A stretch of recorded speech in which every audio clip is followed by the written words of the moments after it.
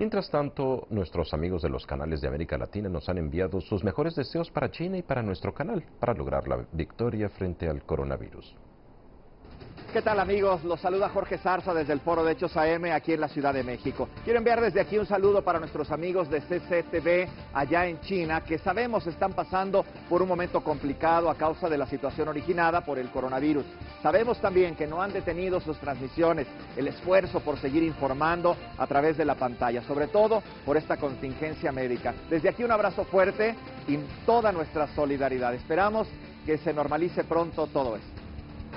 Desde Buenos Aires, desde Argentina, estamos muy pendientes de todo lo que pase en China. Queremos agradecerle a la gente, al equipo periodístico de CCTV. Nos mantiene informados de lo que está pasando y le deseamos eh, a todos ellos que se resuelva esta emergencia sanitaria cuanto antes. ¿eh? Soy Santiago Dorrego, desde acá, de Buenos Aires, Argentina, desde la cadena de 24 horas de noticias, Todo Noticias, TN. Les mandamos un gran saludo.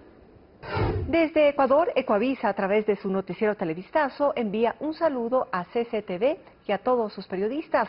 Estamos conscientes de lo difícil que es informar en circunstancias en que todas las personas somos vulnerables al coronavirus y por las restricciones informativas a las que muchas veces nos enfrentamos los medios de comunicación. Por eso agradecemos el trabajo que cada día hace CCTV para brindar noticias al mundo.